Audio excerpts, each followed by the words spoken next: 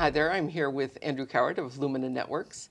And you've been talking today about the importance of open source Right. to the work that you're doing and to the future of, uh, of the network. Can you elaborate on that a little bit? And, uh, Sure. So um, for, for, in telecom market, you know, we, we believe that open source is a really important element in, in basically opening up these these networks, commoditizing them, and making them much easier to manage uh, and control.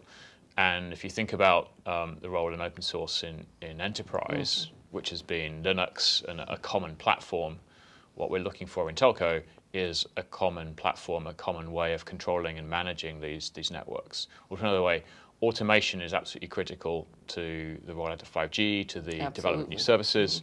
And the only way you're going to get that in a common way with all the plethora of different vendors that are out there is if you have a common control and management um, implementation. And the way that plays out is that needs to be open source necessarily, so all the vendors can come and actually work on a common platform. Yeah, fascinating. Uh, one of the more interesting comments that uh, you were talking about is that uh, you're crediting Oracle with uh, the proliferation of Linux. Is that correct? Yeah, I think that was a pretty uh, interesting history, really. And, and if we think about you know, who was an enabling force in the Linux days, it was the fact that Oracle was ported onto Linux pretty early.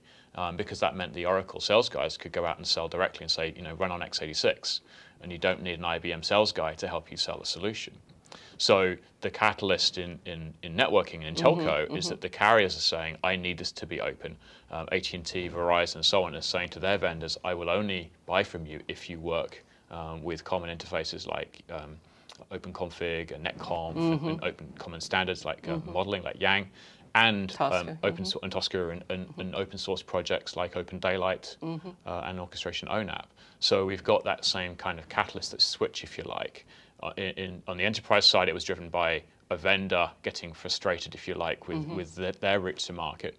Um, in telco, it's because the telcos are getting frustrated. And rightly with- so. uh, right, with, with the lack of um, movement from, from carriers, sorry, from, um, from, from vendors into moving into this area.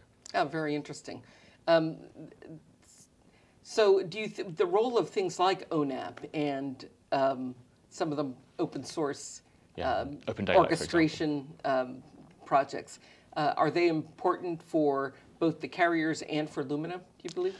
Sure. I, I don't think any telco would say that open source is not important to them mm-hmm. um, as a strategy going forward. For us as, as Lumina, you know, we, we, we developed open, we developed on top of Open Daylight. We provided distribution of Open Daylight, particularly because we thought that, and we recognized that the SDN control of this infrastructure, not SDN control of new stuff, SDN mm-hmm. control of the existing network, mm-hmm. was was critical to, to having automation delivered.